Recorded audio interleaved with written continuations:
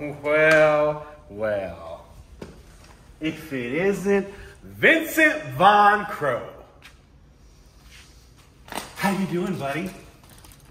Just take it. That's it? Nothing else, huh? Look what I have now. Hmm.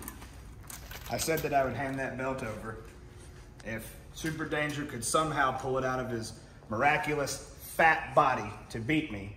And he did. And he, he had help from King Violent, of course. It had to be under sadistic rules. Yeah, well, a win's a win, as you like to say. Hmm. So, got an idea.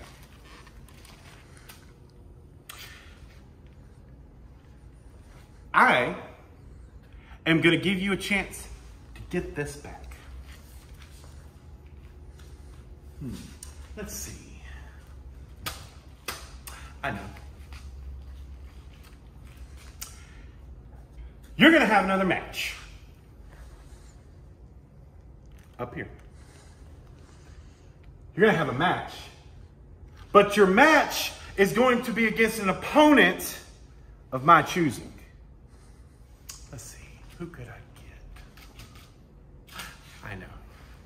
I know. At Rebirth, you're going to face Tyson Sport. And if you win, it's all yours. if you win. Now, given the fact that I don't know if you win, because you can't beat that lard ass super danger. So, we'll see. But, this is going to be your last shot. Because, and I'm, the only reason I'm doing this, you know why? You want to know why I'm doing this? Because I asked your management to get something done. And believe it or not, they actually pulled it out of their ass.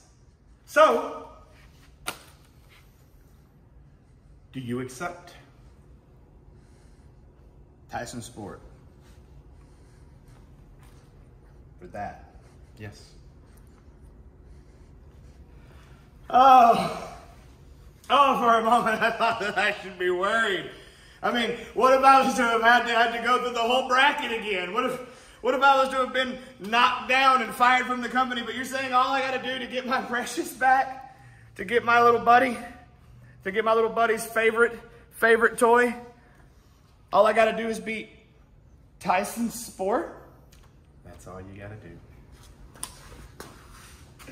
Oh, come here. We should take a picture to commemorate this moment. Hold up. Hold up. Oh. you know, for a minute there, for a minute there, I thought you were a real bad guy.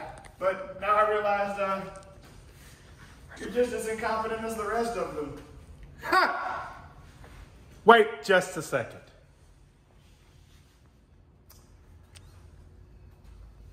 There is going to be stipulation to this match at Rebirth. There always is. The stipulation is that by chance, and, and you probably will because honestly, like I said, I don't have any faith in you, Vahn Krow. If and when you lose, you then turn into a referee. For good.